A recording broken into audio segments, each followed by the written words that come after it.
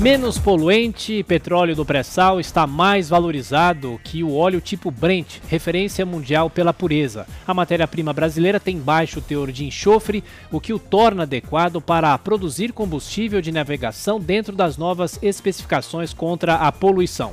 Durante os últimos meses de 2019, a Petrobras chegou a vender cargas do óleo do pré-sal com preço de 4 dólares mais caro que o do Brent. A estatal ampliou em 25% as exportações de petróleo no ano passado para 536 mil barris por dia, sendo 71% para a China.